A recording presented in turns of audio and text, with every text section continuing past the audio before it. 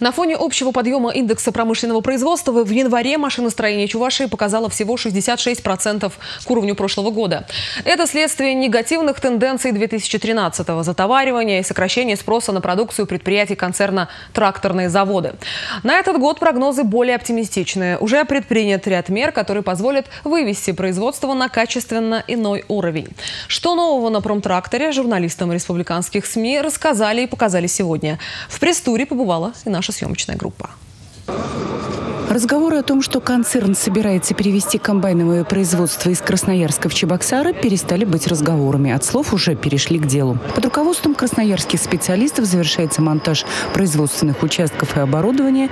Уже изготовлены первые части комбайнов. На данном э, участке производится кабина серийной техники для промтрактора э, компании, то есть под маркой Четра, а также для сельхозтракторов это обычный агромаш ТК-3050, а также э, ТК-85. И на данный момент э, на этом участке производится э, выполнение, скажем так, под будущие контракты Никарагуа. Ровно 70 лет понадобилось, чтобы вернуть эвакуированное в годы Великой Отечественной войны производство в центральную часть России. Именно здесь эта сельскохозяйственная техника наиболее востребована. Больше того, произведенная в Чебоксарах, она обойдется покупателям на полтора-два миллиона рублей дешевле дешевле за счет сокращения транспортных расходов. Однако это единственное, что изменится. Качество останется по-прежнему высоким. Все-таки комбайн э, собрать, его регулировать, настроить.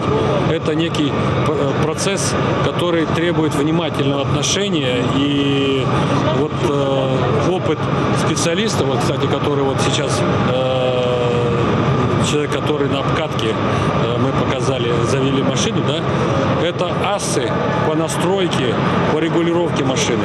С развертыванием комбайновых мощностей увеличится и количество заказов у агрегатчиков. Выходить новая техника будет под брендом «Агромаш». И первым ее баллом станет третий открытый чемпионат России по пахоте, который пройдет в июне во Владимирской области. Елена Гальперина, Регина Кубайкина, Александр Петров. Республика.